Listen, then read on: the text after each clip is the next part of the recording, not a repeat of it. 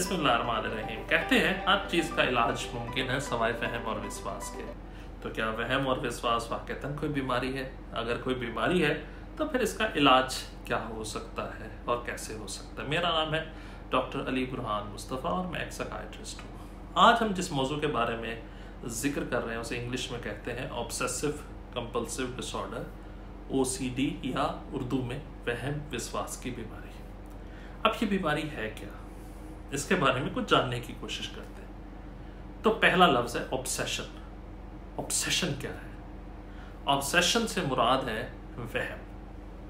अब इसके बारे में मेडिकल साइंस किसे कहती है कि ये वहम है? इसको जानने की कोशिश करेंगे, तभी हम इलाज तक पहुँच पाएँगे। तो मेडिकल साइंस इसके बारे में कहती है, चार चीज़ें अगर मौजूद है तो इसको हम वहम कहेंगे ऑब्सेशन कहेंगे। वो चार चीज़ें क्या है? कि वहम जो है वो एक सोच है जो मेरी अपनी है। वो सोच जो है मेरी अपनी है, किसी और की नहीं है। वो मेरी अपनी सोच है। नंबर एक ये है। दूसरे नंबर पर यह है और वो सोच बार बार आती है।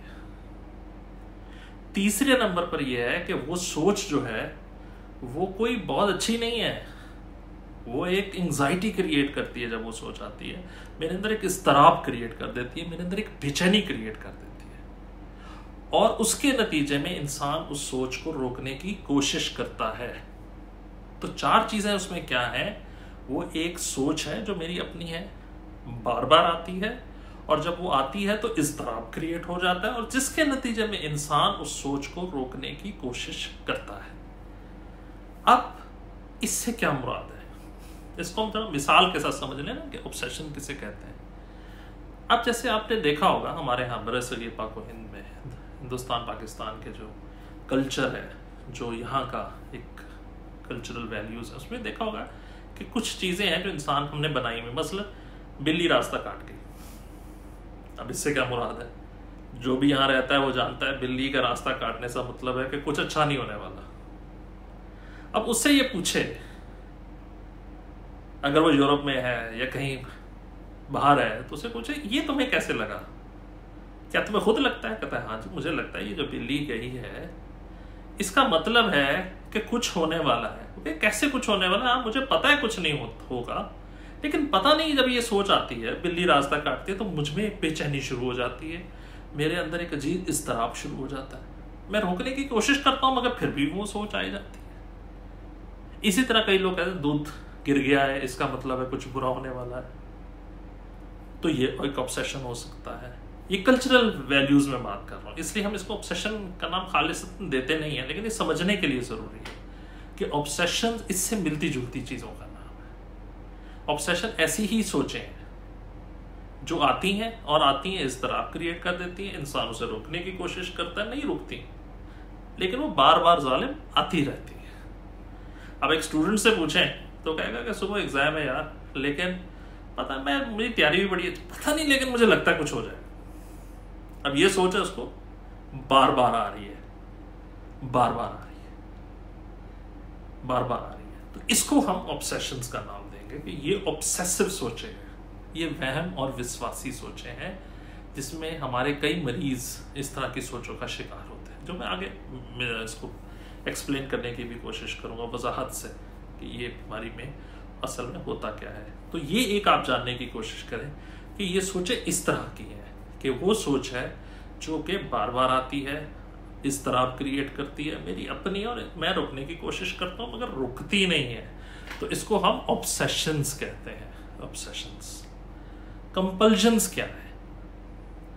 कंपल्जन्स वो मेरी एक्टिविटीज़ है, मेरा वो हरकतें हैं जिसकी वजह से मैं एंग्जाइटी को खत्म करने की कोशिश करता हूँ। मसलन बिल्ली रास्ता काट गई। अभी मैंने आपके सामने ज़िक्र किया। तो क्या करेंगे? कुछ लोग वापस जाएँगे, कोई और रास्ता ले लेंगे और उनको लगेगा कि इस तरह उन्होंने उसे अंडू कर दिया है, उसे खत्म कर दिया है।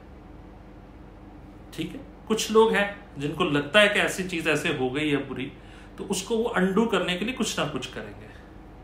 मसलन एक शख्स के जहन में सोच आ गई है कि, मैं मिसाल दे रहा हूँ कि नमाज़ वो पढ़ रहा है और उसे लगता है कि मेरा वज़ू टूट गया है। तो फिर वो क्या करेगा? जाएगा और जाकर वज़ू करेगा। हालाँकि हो सकता है उसका वज़ू ना टूटा हो। हालाँकि वो मोस्ट लाइकली हो सकता है उसका वज़ू ना टूटा हो, लेकिन उसको ये लगने लगा कि नहीं, मेरा वज़ू टूट गया हाँ। मुझे मालूम है डॉक्टर साहब कि मेरा वज़ू कायम रहा, लेकिन पता नहीं ये सोच मेरे अंदर क्यों आ जाती है।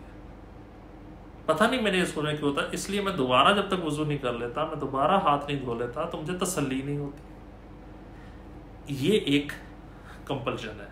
जिसे हम क्लीनिंग का कंपल्शन कहते हैं कि ऐसे लोग सफ़ाई पसंद ज़्यादा होते हैं। उन्हें कहीं चादर भी टेढ़ी नज़र आएगी तो उसको भी सीधा करेंगे। उन्हें तसल्ली नहीं होगी, उसको बार बार करेंगे।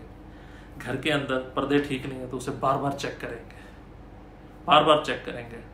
कई दफ़ा तालों को चेक करेंगे बार बार कि नहीं, डॉक्टर साहब, सही तरह हो सकता है ताला ना लगाओ मेरा तो मैं बार बार जाता हूँ चेक करने के लिए। बार बार चेक करते हैं। तसल्ली नहीं होती। अब जो डिसऑर्डर है, जब हम कहते हैं, जब हम इसे डिसऑर्डर कहते हैं तो तब कहते हैं जब मेरी ज़िंदगी मुतासर होने लग जाए। एक स्टूडेंट है, उसकी पढ़ाई मुतासर हो रही है। एक जॉब करने वाला है, उसकी जॉब मुतासर हो रही है। नौकरी मुतासर हो रही है। एक काम करने वाला शख्स है, उसके काम करने की रूटीन मुतासर हो रही है। उसके रिलेशनशिप मुतासर हो रहे हैं। उसकी नींद मुतासर हो रही है। उसका खाना पीना मुतासर हो रहा है। उसका अक्सर वक्त इसी में गुजरता है। वो 24 घंटों में 10-10 घंटे हाथ ही धोता रहता है। छह घंटे वो चेक ताला ही चेक करता रहता है। वो बार बार जो है, कपड़े चेक करता रहता है। वो बार बार जाके पर्दे देखता रहता है। वो बार बार कपड़े सीधे करता रहता है पहनने के लिए। बंदे गिनता रहता है जा जाके तो ये जो चीज़ है, ये जो चीज़ है, जिसे कंपल्जन कहते हैं, जो बार बार हो रही है, जो हम कर रहे हैं, जो एक्शंस कर रहे हैं तो अगर इसके साथ मेरी रोज़मर्रा की रूटीन शदीद तरीके से मुतासर हो रही है तो फिर हम इसे डिसऑर्डर कहते हैं, वरना हम इसे डिसऑर्डर नहीं कहते, क्योंकि जैसे मैंने आपको अर्ज़ किया, जैसे बिल्ली रास्ता काट गई है, लेकिन इससे कोई रूटीन मुतासर नहीं हुई है। उसने रास्ता बदल लिया और वो पहुँच गया अपनी जगह पे। वो वहम हो सकता है, लेकिन वो बीमारी नहीं हो सकती है। तो ये समझने की कोशिश करें इस लाइन को। तो वहम जो है वो नॉर्मल हो सकता है। वो नॉर्मल तब तक है जब तक उसकी ज़िंदगी मुतासर नहीं हो रही। वो अपने काम ठीक तरीके से कर रहा हो। सकता है बहुत अच्छे तरीके से कर रहा हो। हो सकता है बहुत परफेक्ट तरीके से कर रहा हो। हो सकता है वो बहुत अच्छे तरीके से अपने कामों को अंजाम दे रहा हो। सक्सेसेस अटेन कर रहा हो। क्रिकेटर्स की आप लाइफ में देखें तो उनमें भी अगर आप देखें तो वो जाते हैं। कोई कहता है, मैं राइट पैड पहले पहनता हूँ, फिर लेफ़्ट पैड पहनता हूँ। कोई इस तरह उतरता है, कोई अंदर जाता है बैट को हिलाता है, कोई इस तरह करता है। तो ये जो तमाम चीज़ें करते हैं, लेकिन इससे उनको लगता है कि उनकी परफॉर्मेंस बेहतर हो रही है तो ये डिसऑर्डर नहीं है। ये डिसऑर्डर नहीं है। डिसऑर्डर से क्या मुराद है कि जब, बीमारी से क्या मुराद है कि जब मैं इसका शिकार होकर काम करने से रह गया, मेरे रिलेशनशिप खराब हो गए, मैं सही तरीके से चीज़ें अंजाम नहीं दे पा रहा मैं एक अच्छा स्टूडेंट था लेकिन इसमें फंस गया हूँ और उसके अंदर से मेरी परफॉर्मेंस गिरती जा रही है। मेरी अटेंडेंस ख़राब होती जा रही है। मेरी जॉब नौकरी ख़राब होने लग गई है। मेरे मियाँ बीवी के ताल्लुक ख़राब होने लग गए हैं। मेरी नींद, भूख, खाना, पीना, ये तमाम चीज़ें मुतासर होने लग गई हैं।